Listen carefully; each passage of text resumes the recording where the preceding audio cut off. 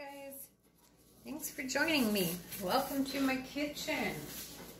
It is Friday night. It might not be Friday night when I upload this video, but it's Friday night right now. And I get to paint for a little bit.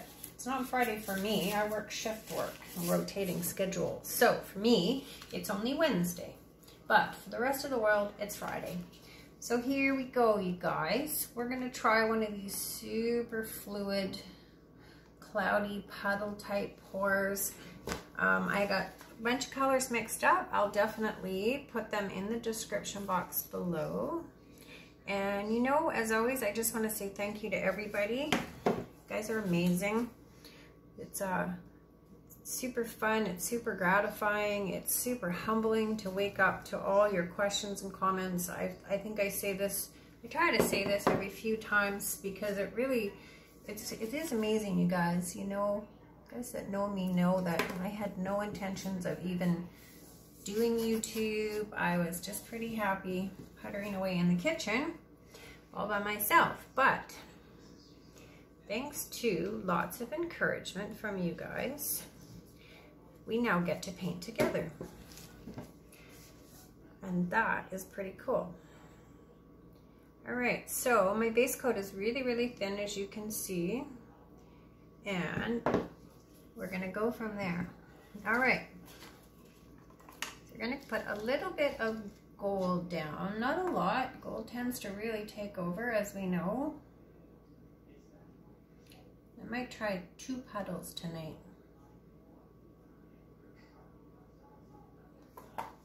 One bigger than the other, obviously. Payne's gray.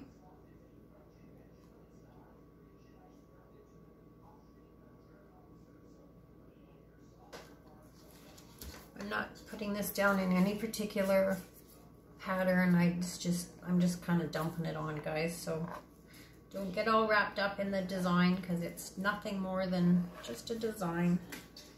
And it's not going to look like that in just a second. All right, let's move some paint. Hopefully my paints are mixed correctly and we will be able to get some cells and some cool things happening. We're gonna stretch like crazy.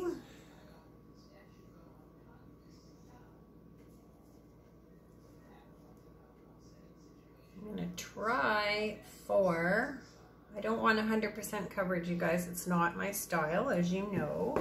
I don't like full coverage. I like negative space. And so that's what we're gonna go for. So we're just gonna stretch these paints out a tiny bit more. Even though we do have cells developing on the bottom, but it doesn't matter. They can just keep doing their thing and we're just gonna let this go. Okay, we're gonna stop there. And let's build on that, my friends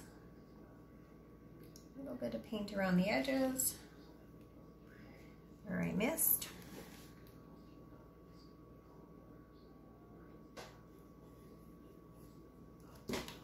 This is, I've been having a lot of fun with this technique, although I've had a lot of frustrating moments with it as well.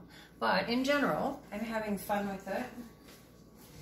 I've, uh, I did a few pieces for myself well, I've done all my pieces for myself as far as that goes, but a few that I'm actually really happy with and I'm just going to keep for myself. So in my series of Because I Can't Sleep, I did pour over the one. Um, I didn't like it when it dried. I used mica pigments the last time and they all kind of broke up and I wasn't really feeling it. So I poured over it. Not that that's a big surprise because lots of things get poured over. Okay, so let's build on this. It's already starting to cell up. So this little bottle, guys, is nothing more than some uh, milk paint and water. That's all it is. And that's my cloudy mix, as you can see. It super takes over, so we don't want to get too carried away with that. And I lost my cup.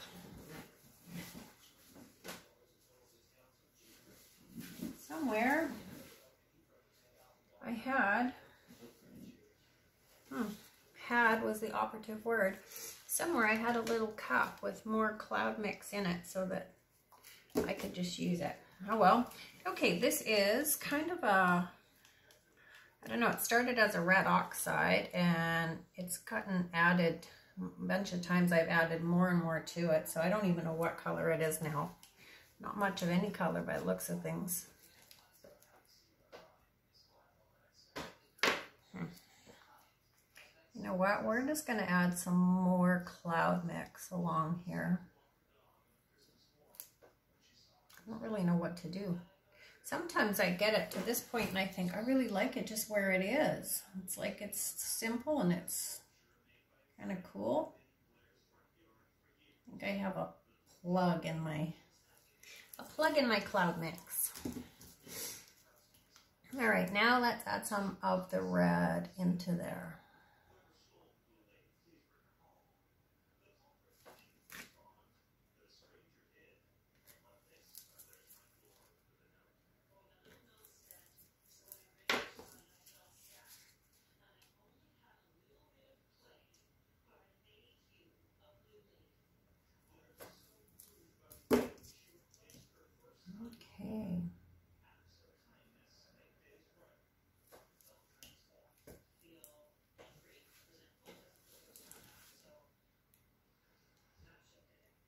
This might turn out to be another really simple painting that I just leave alone.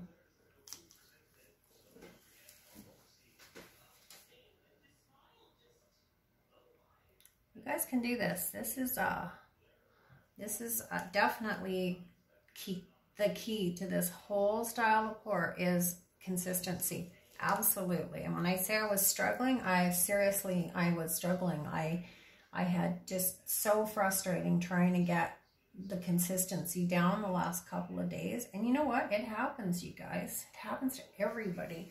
So when you're watching people and they make it look super easy and all the rest of it, I will guarantee that they dump just as many pieces as you and I. They do. They have to. That's my that's my theory.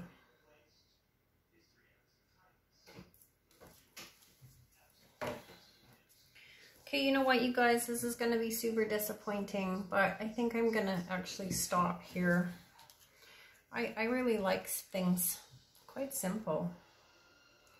And, well, I'm not going to quite stop. I'm going to fiddle for a few minutes, but I'm not going to add a lot more.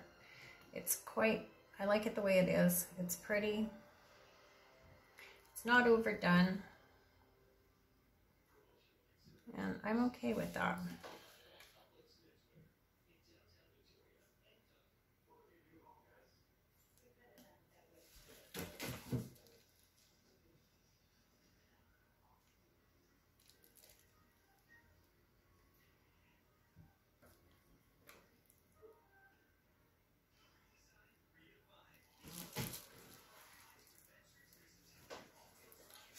Yeah, that's it, guys. That was super quick. So I'm going to turn over my overhead light so you guys can see a little better. And then I'm going to bring you down. It's quite glary, but we'll do our best. It is going to change. So tomorrow, you know, when we post pictures and it's dry, it never quite looks the same as it did wet, which is unfortunate because sometimes I really, really like it wet and I don't really like it dry. But here we go, guys. Going to bring you over. There you go. Very simple. Lots of negative space. Lots of intricate little lines and details. I'll show you close. Yeah, look at that, guys. Very cool. Four colors. Simple, easy peasy. You guys all got this. We can all do this. We can do it together. We can learn, support each other. It's only paint, my friends. We got this. Bye for now, you guys. If I don't see you soon or talk to you soon, have a lovely weekend. Bye, guys. Take care. Pour happy. Stay safe.